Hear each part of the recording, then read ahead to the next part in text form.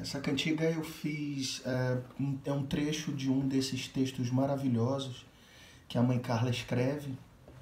E eu tenho certeza que muitas pessoas, muitos de vocês vão se identificar com essa cantiga. Adorei essa!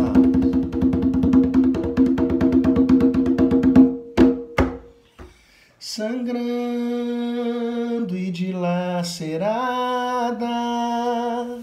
as lágrimas sendo amparadas por sua saia, sua fumaça.